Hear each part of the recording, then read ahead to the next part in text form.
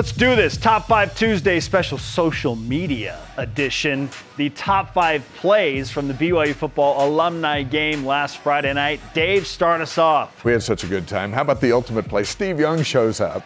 then he starts. He completes his first pass. His uh-huh. second pass, however, Uh-oh. is intercepted by Uani Unga. And Unga sets up a royal touchdown. Somebody told Unga, um, you're going to be punished in the next life for intercepting Steve Young there. well, Steve told me, Dave, everybody loves a great redemption story, Spencer. So they gave him another shot at number four.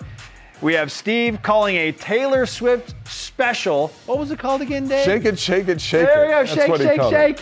To a Leva Hefo. And at that point, he said, All right, I'm leaving on a high. I'm out. Beautiful touch right there to find the Levy Hefo in the Him end. reading the defenses, even after all this time, he gets a hero's.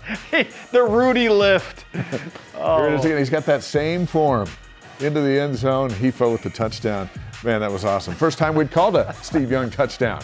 It's been that long. Very All right, cool. let's go to number three, Jake Heap. So cool to have Jake back at BYU. He tweeted afterward he had the time of his life. And who's he throwing to? Cody Hoffman. All Hoffman does is catch touchdowns. This one actually gave Team Navy a 7 6 lead. One of two touchdowns on the day for number two, who is number one all time in touchdowns at BYU. Bolus still got those great hands.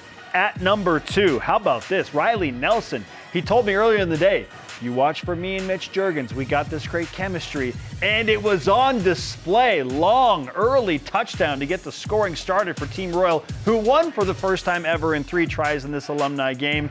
Great connection there on the deep ball to Mitch Juergens. This is what practice can do, as Riley said. Hey, look, we practiced this coming in. First time back, they cashed the Steve Young turnover into a touchdown. We even have stats. Juergens, four catches, 79 yards. I didn't realize that this was this official. He still got it. Let's go. We think those numbers are legit. We're going to go with them. Well, let's go to number one. Yes. Neil Pau'u, who is still in game shape. Uh, watch this catch. This is the game winner. And who throws it to him? Of course, Jackson Brown. Oh, Jackson Brown is back. I'm also distracted by Neil shorts. I think he wore those on purpose. in the end zone. Look at that. You got good coverage downfield. Brandon Brown is in perfect position, but he just he doesn't jump like he used to. He's a little older than Neil. So this is how Royal won the game. Navy drove down to the goal line and had a play.